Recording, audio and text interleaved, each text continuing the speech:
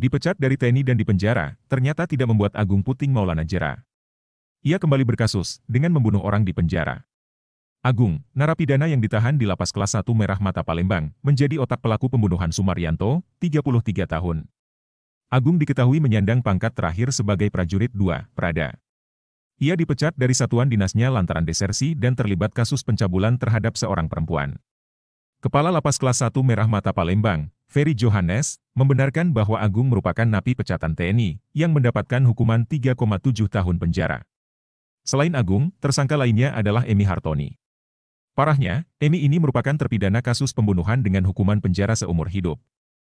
Agung dan Eni merencanakan pembunuhan terhadap Sumaryanto lantaran kesal, karena ia enggan mengikuti peraturan dalam penjara.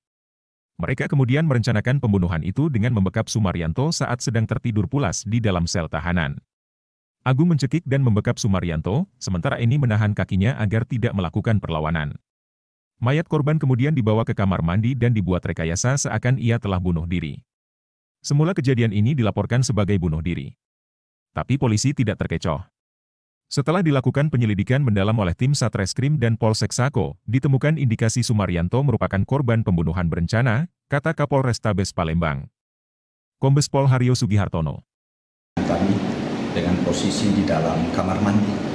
Uh, di situ saya melihat ada perlu ini, ada apa uh, tindakan dan pemeriksaan lebih lanjut. Download Tribun X sekarang menghadirkan lokal menjadi Indonesia.